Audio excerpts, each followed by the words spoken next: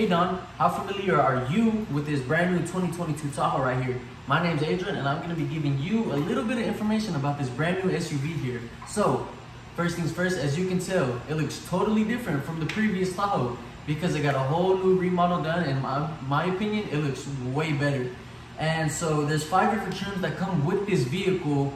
Um, it comes with the three year, 36,000 miles and bumper to bumper warranty on it. And it gets around 21 miles per gallon in the city and 28 on the highway.